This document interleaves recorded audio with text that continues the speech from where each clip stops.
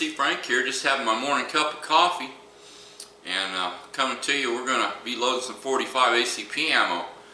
So instead of doing one massive video showing you how to load ammo, I'm going to break it down a little bit and uh, do this one on setting up your powder scale and powder measure and showing you how to get that powder measure dialed in using the scale.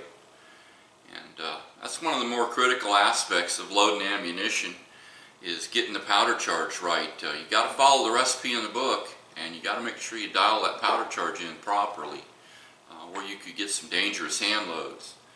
And as a Cabela's outfitter, uh, I, I, get asked that quite a bit uh, in our hunting department. Since I've been hand loaded for some 35 years, I kind of you know, got a little understanding of it. And people always ask me, well, how hard is it to load ammo? I tell them it's not that hard. As long as you follow a good book, long as you get your powder charge dialed in. Powder charge and overall length on the uh, case when you seat the bullet are two of the more critical aspects. So we're going to go ahead and take care of getting that powder measure set up and show you how that's done. That way you can load some uh, decent ammunition to go out and plink with or, or even uh, if you care to, self-defense. I know a lot of people say not to do that, but hey, as long as you follow a book, I mean, you could prove what you did in court. I'd say it'd be all right, but uh, hey, at your own risk, you know, do everything at your own risk. I'm not saying to do it or not to do it. But for sure you can make your own target loads uh, using this method. I'll show you how we do this. So stick with me and, and let's get out to the garage.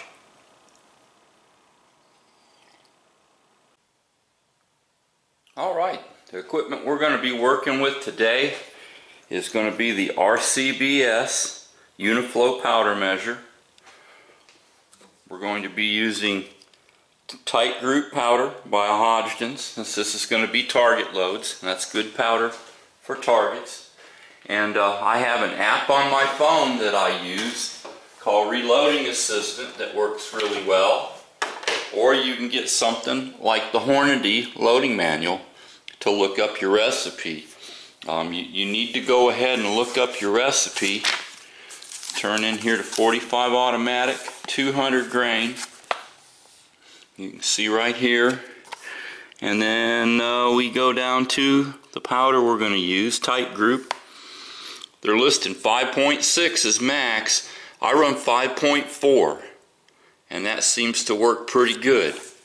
So we'll show you how to get this set up. Okay if you'll notice right here on your powder measure there's a little locking ring. This is what locks this plunger in place. You can adjust this out or in and what that does it adjusts a little volumetric measure that's inside this drum here. But yeah this is this is what we're going to be adjusting here. We're going to adjust this in and out then we're going to lock it down so it doesn't move and we're going to use uh, Use this in conjunction with our powder scale, which we're going to move to right now. Alright, we're going to dump some powder in here.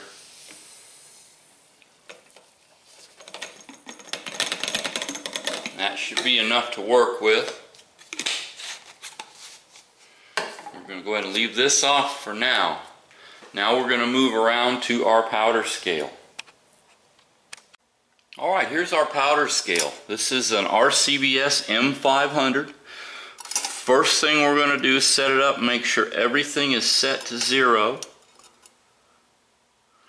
You have a little wheel right here you can turn to balance this out and you have three little notches here or arrows sticking out and what you want is you want your white line right there straight with that notch we're going to turn our little wheel. See how that moves? See, now we're too high. Turn it the other way. Now we're too low. You want to adjust that till you're just right in the middle. Right there looks good. You're right about there. That looks good. We're right in the middle now. We are adjusted. All right, we're going to take the pan out of our uh, out of our scale, and this is still locked. We're going to go ahead and unlock this right here, unscrew it a little so you can move this. I'm going to dump a charge, dump it back in, dump a second charge, dump it back in. Now this should have normalized our measure. Now I'm going to dump our third charge and I'm going to take this over. We're going to weigh it.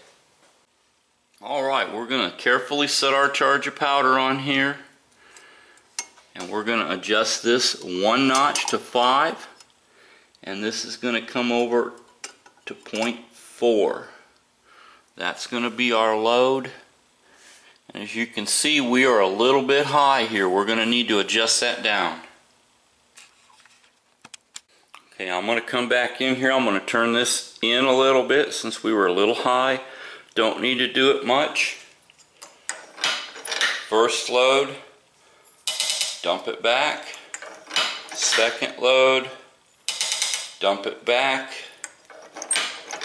Third load, let's go weigh it. Okay, let's put our charge of powder here. Uh, one thing I might add, when you're doing this using a scale, you don't want any wind, no fans, nothing like that on. Um, you see now we're a little bit low. So I'm going to go ahead, I'm going to adjust that just like I did. This time I'm going to turn it out a little bit and we're going to see if we can get this dialed in. Okay, we've been messing with her a little bit back and forth and I think I got her pretty good right now. If you see right here from where I'm standing, that is centered up pretty good. Now what I like to do once I get her dialed in, I like to confirm it. Drop another powder charge load. Put her back on. That looks good. And one more time. I like to I like to do her three times once I get dialed in. Yep, cat just bumped the uh, stand. Oh well, he don't care. yeah, now that looks pretty good. That's dialed in. Now we'll go ahead and that locking ring I told you about, lock it down, and uh, your your your uh, powder measure is set using your powder scale. All right, guys, uh, that's about it. Uh, like I said, uh, triple triple check your uh, charge once you get her dialed in. Make sure you're on the money and lock her down. It's one of the more critical aspects of hand loading, so you, you got to get this in right. You got to make sure you got your powder charge just right. Um, so hope, hope you found this video a little bit helpful. So like I always say, either we stand up for our rights or we can sit by and watch them go away. You all have a great day. Take care. And we'll catch you on the next video. Tennessee Frank out.